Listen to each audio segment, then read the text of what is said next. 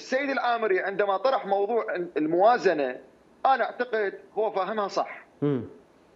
وحسبها صح الموضوع ركن الدستور على جهة والآن إحنا نتكلم بمصلحة الطبقة السياسية. والأعراف داخل هذه الطبقة الأعراف السياسية كل شيء ممكن أن يتبوب داخل قبة البرلمان ممكن أن يجي قرار من المحكمة الاتحادية. تفسير معين آه، قرار معين من المحكمة الاتحادية قر الموازنة حتى لو حكومة تصريف أعمال. اولا خلينا نكون واقعيين هاي الحكومة تحولت تصريف أعمال من خلال الانتخابات بعد إجراء الانتخابات. هي كانت حكومة منتخبة. نعم. لكن هو ما مصوت عليها البرلمان الحالي. كان مصوت عليها البرلمان السابق. هسه باكر عقبه ممكن أن يستفتى المحكمة الاتحادية وهو يعني معين بقرار معين. ممكن أن يكون للمحكمة الاتحادية قرار أن يذهب إلى أن تقر الموازنة عن طريق الحكومة المؤقتة. ممكن.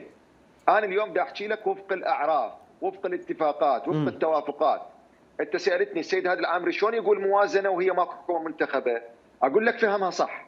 فهمها إنه اليوم الدستور على جهة. عوف الدستور ماكو شيء من الدستور اليوم. الدستور انتقائي مزاجي. يفيد هذه الجهة؟ okay. يفيد هذا الحزب؟ okay. ما يفيده؟ أركنه. لذلك أنا أقول لك إنه ممكن اليوم الطبقة السياسية أن تتفق داخل قبة البرلمان بأمور معينة طالما مصلحة معينة تسير هاي الحكومة مؤقت تبقى سنة؟ اي وبعد ذلك ضرب للدستور. إلى حالة معينة.